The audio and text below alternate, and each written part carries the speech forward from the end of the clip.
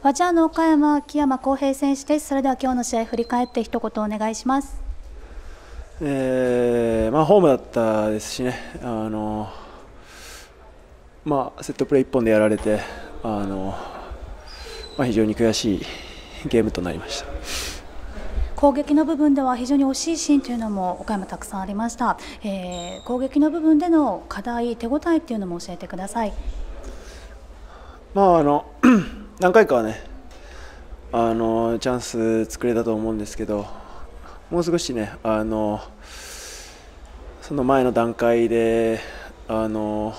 うまくできる部分はあったかなと思うので、まあ、あの次までの試合までね短いですけどちょっとそこ修正してあの、まあ、あとはね負けてる中でもちょっと慌てた部分もあったので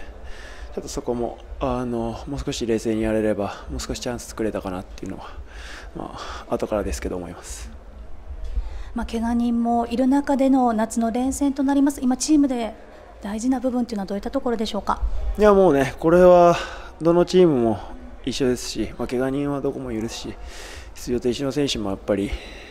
シーズン、ね、ずっとやっていくと出るので、まあ、そういうところでね、やっぱり一体感を持ってあのみんなでやれるかがここは問われると思うし、まあ、負けた後っていうのは非常にね重要なんでやっぱりこの悔しさをねパワーに変えて、まあ、次も ありがたいことにホームでできるので、まあ、しっかりとあの回復していい準備してあの次の試合に臨みます。期待しています。はいありがとうございます。ありがとうございました